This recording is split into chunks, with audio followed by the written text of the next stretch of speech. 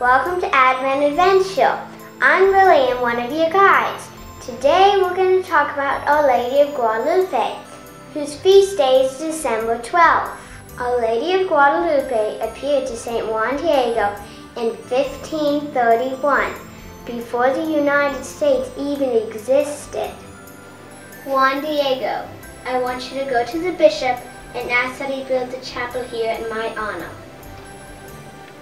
Juan Diego did as the lady requested, but the bishop didn't believe him. He told Juan Diego to ask the lady for a sign to prove that she was from heaven. Do you know what the sign was? Juan Diego, walk up to the top of the hill and you will find a sign to show the bishop. Roses in winter? Surely the bishop will believe me now. When Juan Diego opened his tilma to show the bishop the roses, they found a beautiful picture of Our Lady imprinted on his cloak. St. Juan Diego's tilma can still be seen today in the very chapel Our Lady asked him to build. The tilma is very, very old, but it's still perfect. This is a miracle as well because Mexican tilmas used to be made of cactus fibers and would usually fall apart after a couple of years.